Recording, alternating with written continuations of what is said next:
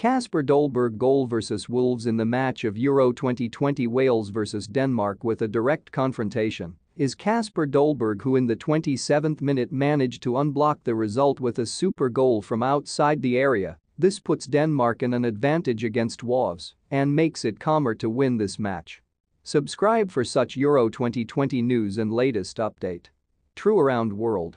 Thanks for watching have a nice day.